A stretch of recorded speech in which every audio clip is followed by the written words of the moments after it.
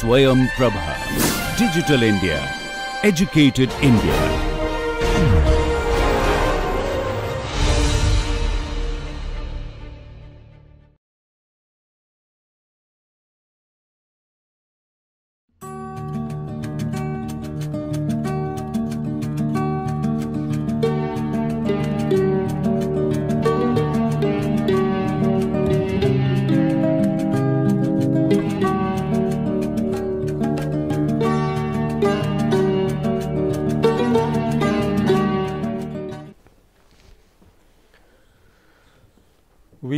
Continue our discussion on governing equations of fluid flow today and we start from where we left in the last lecture.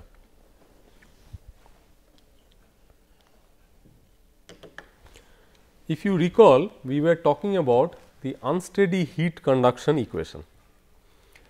In this equation, we mentioned earlier that temperature, which is the dependent variable, now becomes a function of both space and time.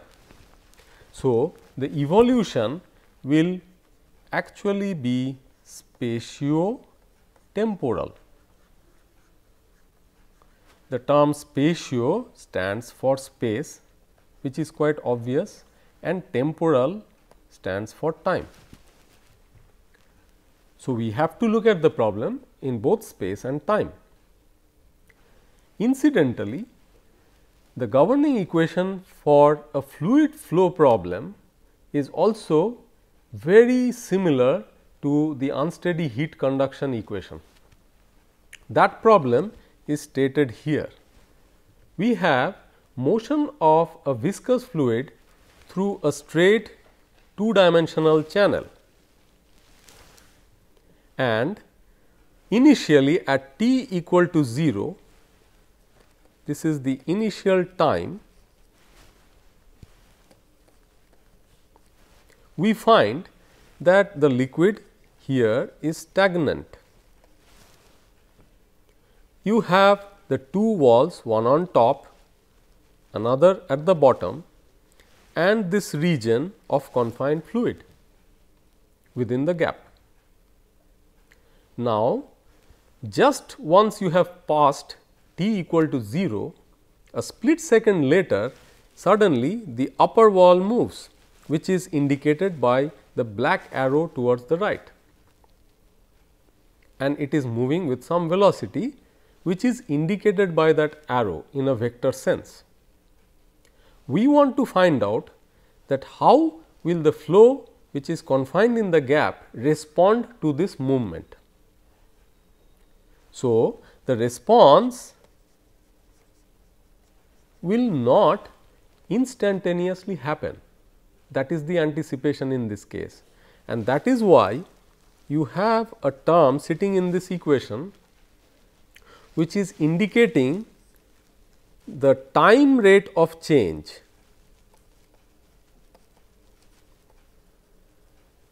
Of the velocity component u. So, what we assume is that the x direction points this way and the y along this. So, we are talking about a variation of u in the y direction here that means along the thickness or the gap direction as you move from the bottom to the top plate. We assume that because this plate stretches infinitely in the negative and positive x directions, you will not see any changes in the velocity profile along the x direction at all. Whatever changes take place will be confined to the y direction. Therefore, you do not see the influence of any velocity derivatives along x direction coming up in this equation. Now, without going into the specifics of the solution, we try to intuitively figure out what is going to go on after the plate has moved. This is a viscous flow. So, what happens is that the flow which is next to a wall sticks to the wall. This is what we call as the no slip condition on walls in viscous flows. So, if there is a movement of the upper wall, what it will do to the flow is that it will drag the flow along. As it drags the flow along, there will be diffusion of momentum which comes from the kinematic viscosity coefficient which stands ahead of the second derivative term there.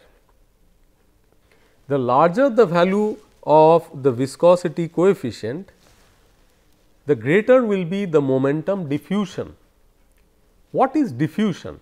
You see that momentum is gradually percolating from the upper plate towards the lower part of the flow and more and more of the flow closer to the lower wall is gaining some velocity.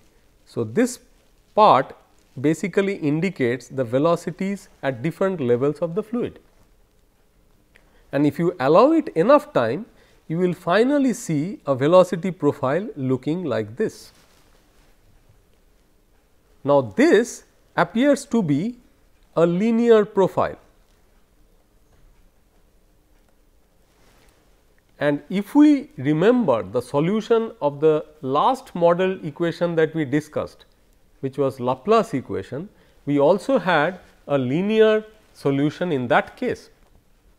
So, is there any connect between the two? This is a very obvious question and it is interesting to note that yes indeed there is a connect. The point is that as momentum diffusion happens from the higher velocity regions to the lower velocity regions through the shearing of different layers of the fluid which tend to drag more and more of the low velocity fluid and speed them up. What we see is we move towards a steady state finally and at steady state there would be no more any kind of time rate of change of the velocity left which means that gradually we are moving towards a condition where we can more or less say that the del u del t term is approximately 0. If that is the situation, then you see that the equation essentially boils down to Laplace equation in one dimension. So, what will the equation look like? Under such situation, the equation will look like a form which you have already handled d 2 u dy square equal to 0.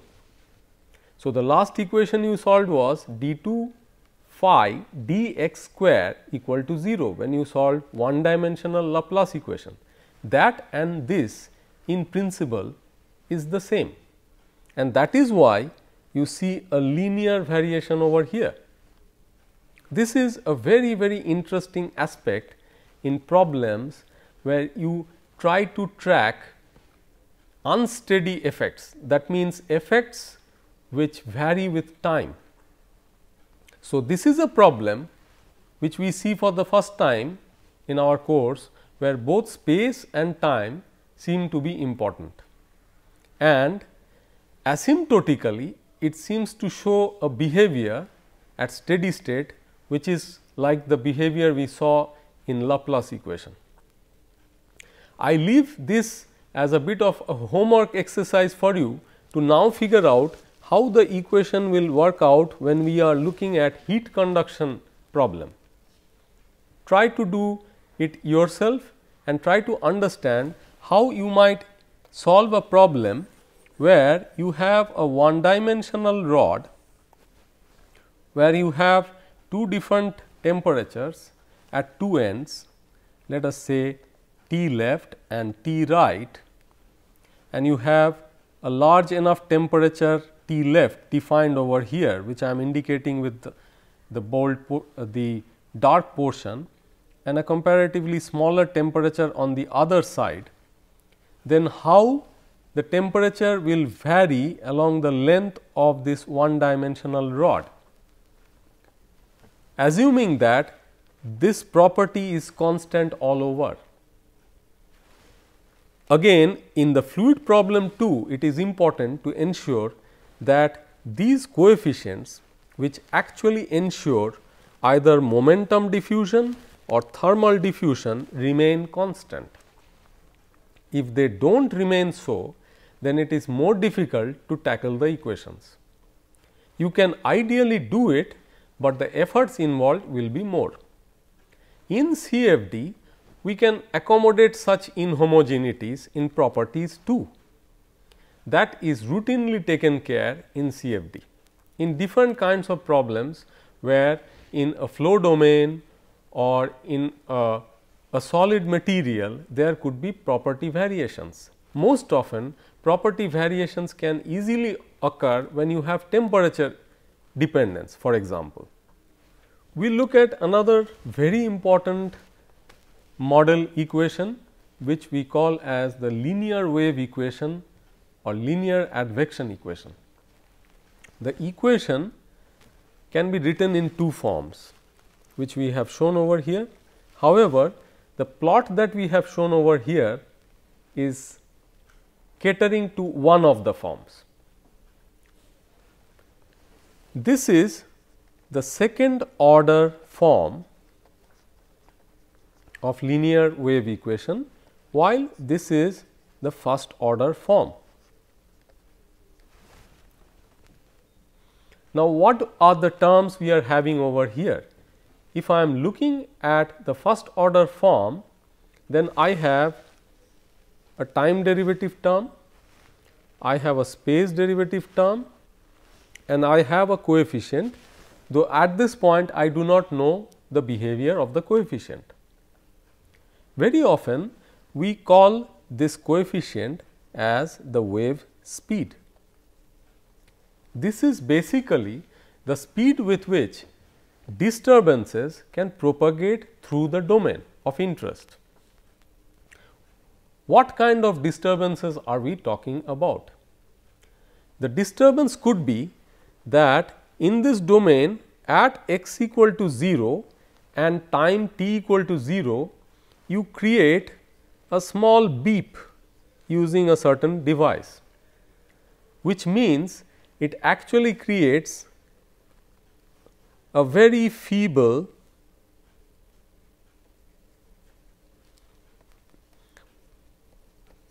pressure wave which we experience as some sound. This is just an arbitrary representation of that small pressure wave which the sound creates. Now, our common experience says that if we create a sound in air, that sound seems to propagate in all directions at the speed of sound in air that is the rate at which it propagates. However, here we are just confining that movement to one dimension and not only that we are confining the movement only along the positive x direction. If that is the case, then the ripple will probably find its way at the speed a along the positive x direction and because it is a linear wave the most important fact that we need to keep in mind in this case is that the wave will propagate in undistorted manner.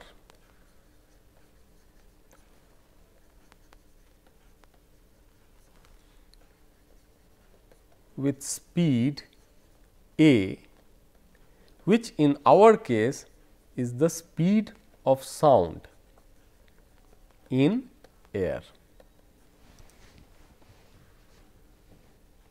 That means, this equation is capable of handling the movement of sound waves, how they propagate through air.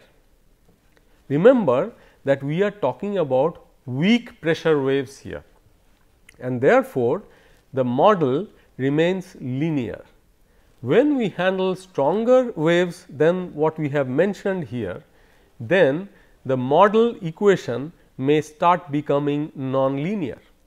For example, a typical form of such a nonlinear equation may be looking like this. There is a very small, but not at all trivial change which has come about now. The coefficient of del u del x is now u which is the dependent variable. So, the dependent variable gets multiplied with the derivative and we said that this is recipe for nonlinearity. In fact, in computational fluid dynamics, a lot of effort goes into tackling these kind of nonlinear terms. These are often called as convective derivatives.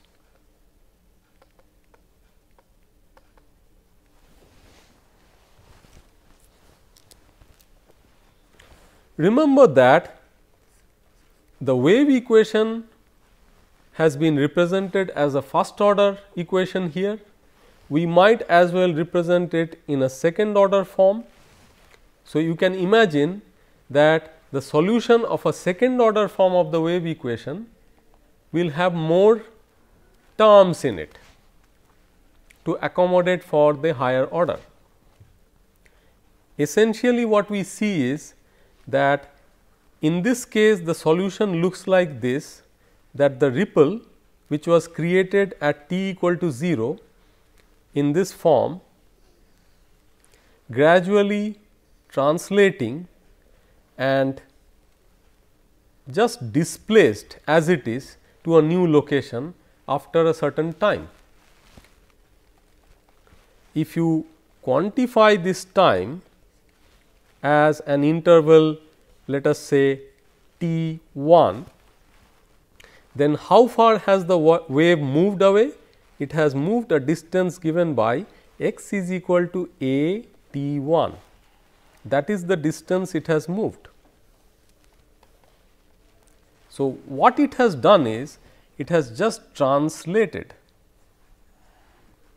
and what is important to remember is that it has not distorted as though you just picked up the wave packet here and you dropped it here.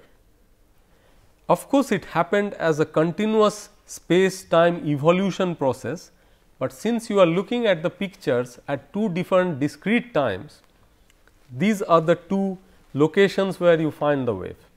But the interesting thing is that the wave shape remains the way it was in the beginning and this is a typical feature of linear waves. Now, the question to ask is that if it was the second order wave equation then how would the solution look like? In that case, you would actually see that the initial ripple will travel in two direction, one along the x plus, the other along the x minus directions and at what rate will they travel? The one towards the right will be governed by this, the one towards the left will be governed by this. So, one moves away at a speed of a plus which means that it is moving towards the positive x direction, the other moves away towards x minus at a speed of a minus or minus a rather. So, there is a symmetric emergence of the packet in the two directions. We later see that these are very very important directions which we often call as characteristic directions.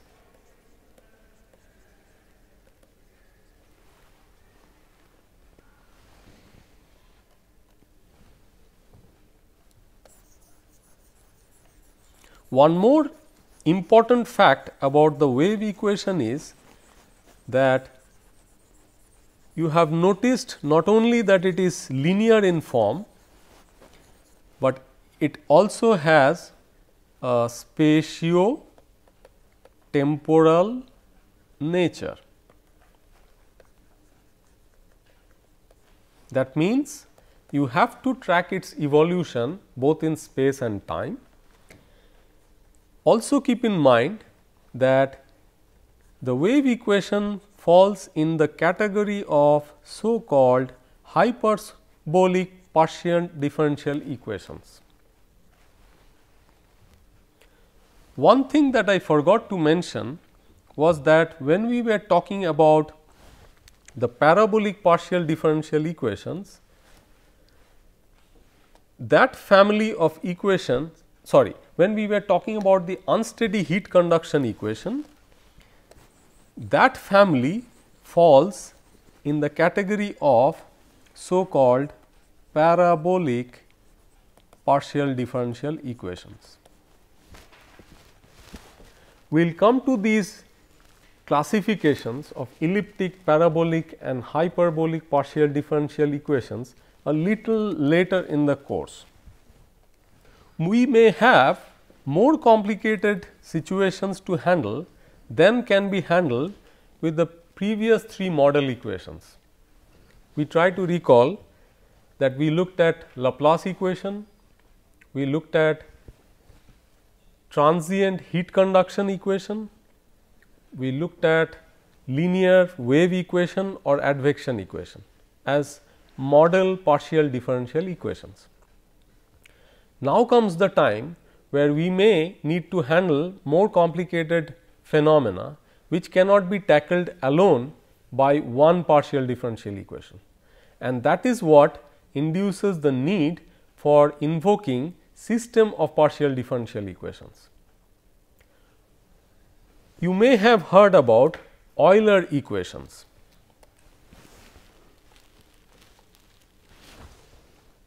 Euler equations form a system of nonlinear conservation laws.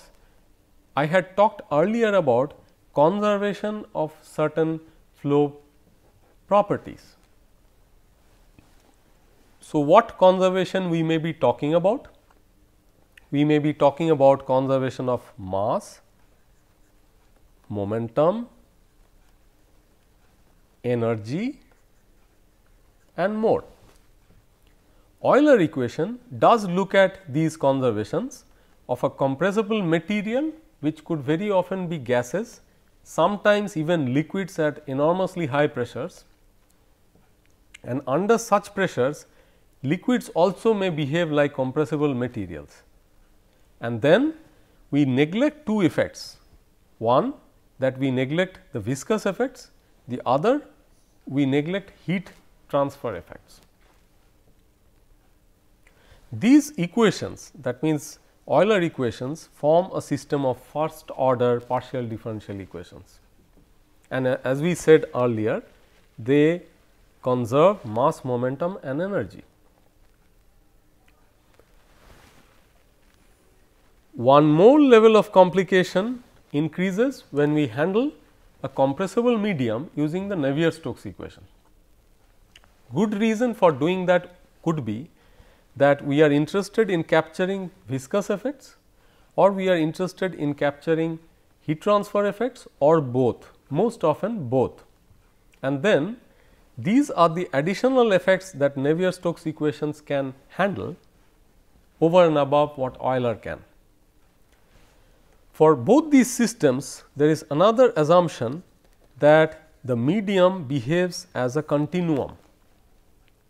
That means, the molecules are packed so tightly that no matter how small a domain you look at, you can see a continuous medium. That is essentially the continuum hypothesis and both Euler equations and Navier-Stokes equations operate under this hypothesis.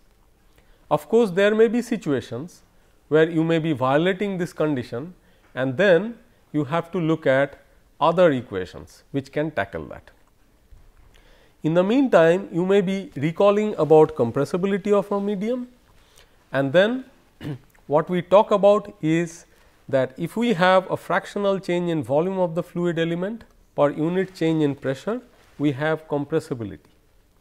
So, if volume change is happening due to change in pressure, then we have compressibility. There, there are more formal definitions, but if you can understand this bit, it should be okay for you at this point of time. Remember that just Euler equations or Navier-Stokes equations are not necessarily sufficient to solve for the dependent variables that you are interested in.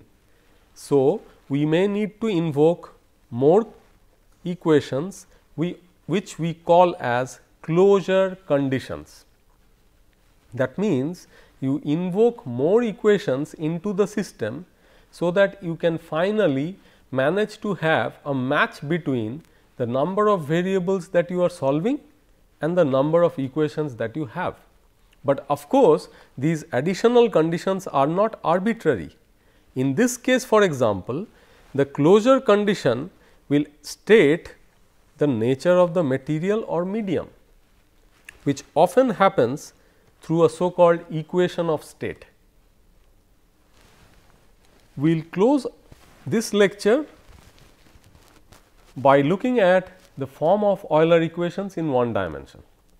This is one possible way that you can represent the equation. There are numerous other possible ways that you can do it. This is the so called flux vector form, where you may note that you have a column vector here comprising of quantities which are actually being conserved. So, Rho stands for density. Of course, u stands for velocity, E stands for the total energy per unit volume, P stands for pressure and gamma stands for the ratio of specific heats. Now, how is Euler equation represented here? it is apparently represented in a very simple form here. So, you have a time derivative operating on a column vector which is given by u. You have a space derivative again operating on another vector a column vector which is given by f. And those two terms when summed together and equated to 0 gives you the full system of equations. So, when we have systems of equations to be represented, this is a very very convenient way of representing them and this is called as the flux vector form. This form is very preferred in CFD literature. We need to know what Euler equations can do for us. They can capture shocks, they can capture expansion waves, they can capture contact surface features. These are all very often found in compressible flows. We will talk more about these features in future lectures. Thank you.